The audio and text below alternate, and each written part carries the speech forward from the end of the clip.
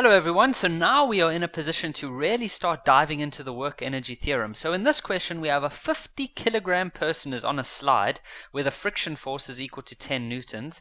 Determine the velocity of the person at the bottom of the 5 meter long slide which is inclined at 20 degrees. So let's quickly draw a picture of what's happening here. So there we have it guys, the forces that we're going to have, that's very important. We're going to have a force of gravity trying to pull the person down, that's gravity parallel.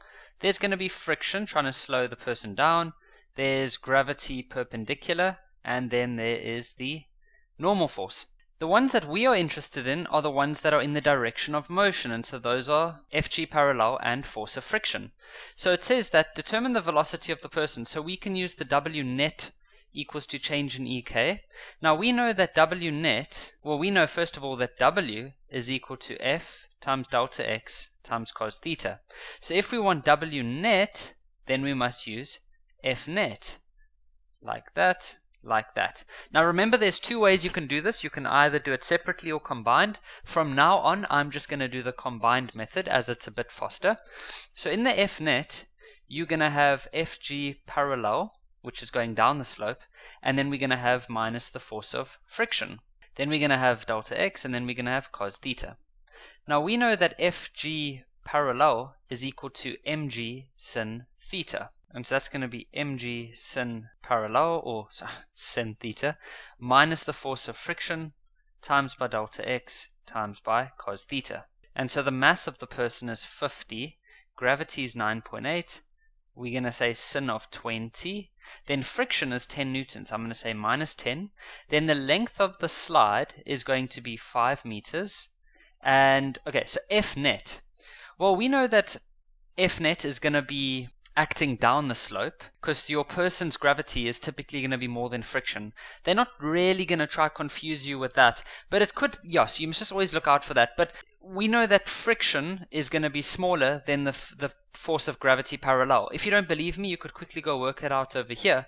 And so we know that the net force is going to be acting down the slope, and the person's also moving down the slope, and so we're just going to use cos of 0. So even though friction acts upwards, when you use this method, you have to look at Fnet as a whole. Now Fnet as a whole is going to act down the slope, and the object's moving down the slope, and so we can say cos 0.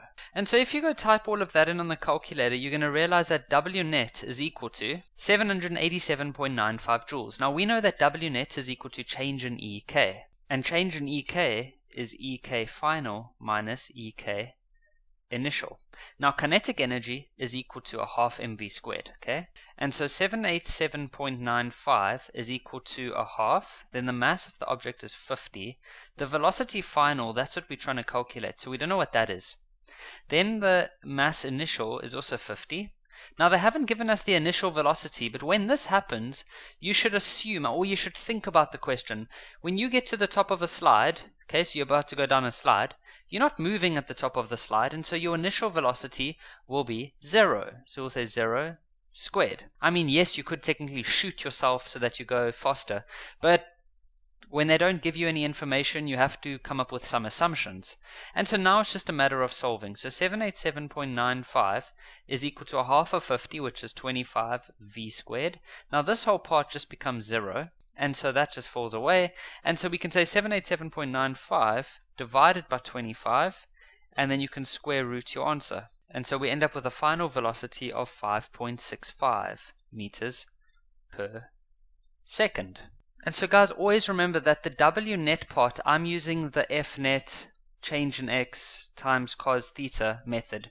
But there is that other method that we looked at where you could say W net is going to be equal to W A for force applied or gravity, sorry, parallel, plus W friction. And then we went and did each of those separately, and then you combine them. Both ways are going to give you the same answer, so you must please make sure that you understand the differences, and you are welcome to do whichever one you like. Thank you for watching this video.